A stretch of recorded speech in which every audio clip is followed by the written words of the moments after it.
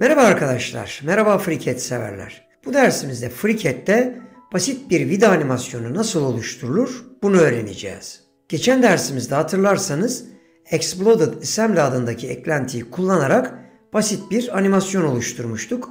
Şimdi yine aynı eklentiyi kullanarak oldukça basit bir vida animasyonu oluşturacağız. Öncelikle vidaları üzerine ekleyeceğimiz tasarımı gerçekleştirelim isterseniz. Hemen Part Design yani parça tasarımı bölümüne gelelim. Yeni bir çalışma oluşturalım. Cisim ve eskiz oluşturalım. E, buraya bir tane e, çember oluşturarak çalışmamıza başlayabiliriz. Evet ne olsun şöyle 40 milimetrede kalabilir. Tamam diyelim. Şimdi iç kısmına da bir tane çember ekleyelim. Evet. Buna da bir çap belirleyebiliriz. Örneğin 25 olabilir. Evet içeride de bir çember oluşturduktan sonra tasarımımızı tamamladık. Eskizden çıkalım. Buna bir kalınlık belirleyelim.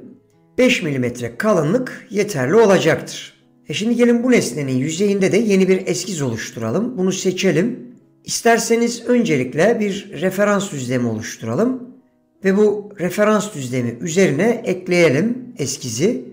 Evet, burada uçak yüz ayarında tamam diyelim kalabilir. Sonrasında datum plane'i seçelim ve yeni bir eskiz oluşturabiliriz. E şimdi gelin bu çemberin kenarına bir çember daha ekleyelim. Evet, eksen üzerine gelelim. Şöyle tıklayalım, oluşturalım. Burada kabaca bir çember oluşturabiliriz. 3 mm değerinde olabilir. Tamam diyelim. E, göz kararı şöyle ortalayabiliriz.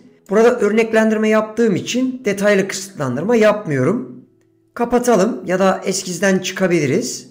Evet model bölümüne gelelim. Burada datum plane'i gizleyebiliriz.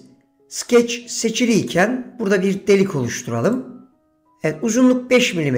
Eğer içinden geçiyorsa sorun yok. Tamam diyelim. Poketi seçelim yani cebi.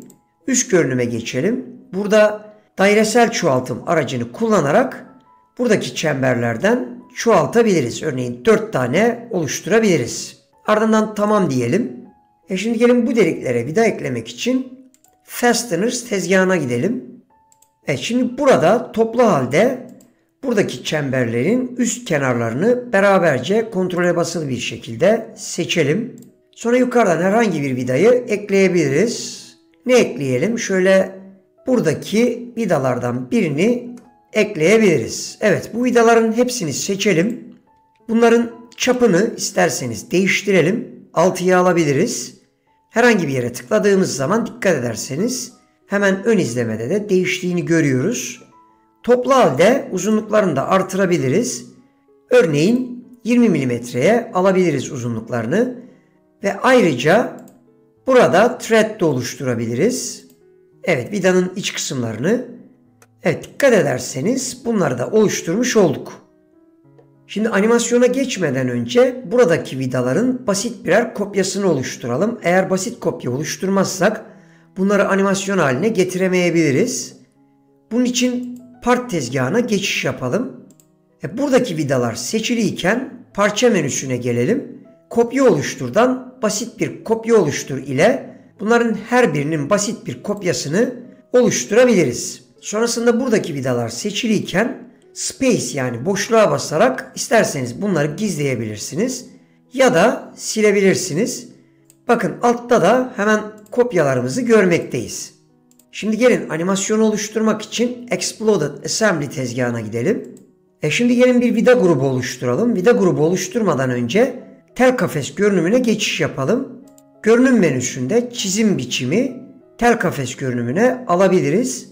Sonrasında bu altta bulunan vidanın alt kısmında bulunan çemberleri, kenarları daha doğrusu bir seçelim beraberce. Sonra tekrardan görünüm modunu, çizim biçimini olduğu gibiye alabiliriz. Ardından kontrole basılı bir şekilde vidanın üst kısımlarını seçelim. Evet sonrasında bir vida grubu oluşturacağız. Butona tıklayalım. Dikkat ederseniz vida grubu oluşmuş oldu. Hemen ayarlarına ulaşalım isterseniz. Şöyle tıklayalım. E bu şekildeyken bir animasyon yapalım. Dikkat ederseniz oldukça hızlı bir şekilde yukarıya doğru çıkıyorlar. Bunu seçelim. Animasyonu şöyle bir miktar daha yavaş bir hale getirelim. Örneğin 150 değerini girebiliriz. Evet. Vidalar hep beraber dikkat ederseniz yukarıya doğru çıkıyor. İsterseniz Revolutions değerini 1 yaparak vidaları döndürebiliriz. Evet başa alalım. Dikkat ederseniz vidalar dönerek e, çıkıyorlar. Şöyle geriye doğru oynatırsak vidalar iç kısma geçecek. Evet şuradan bakalım. Gayet güzel. İsterseniz animasyonu biraz daha şöyle yavaş bir hale getirebiliriz. Bir bakalım. Evet dikkat ederseniz sonucumuz bu şekilde gayet güzel. İsterseniz vidanın dönme hızını da artırabilirsiniz. Örneğin şöyle 5 değeri girelim. Bakın dikkat ederseniz bu sefer vidayı oldukça hızlı bir şekilde döndürebiliyoruz. Vidanın dönme hızını daha da azaltabilirsiniz. Örneğin şöyle nokta 2 değerini girelim. Bu sefer oldukça ağır bir şekilde dönecektir. Evet arkadaşlar, dersimizin sonuna geldik. Umut ediyorum bu ders sizler için faydalı olur. Sonraki friket derslerinde görüşmek dileğiyle kendinize iyi bakın, hoşça kalın, hep ama hep sağlıklı kalın.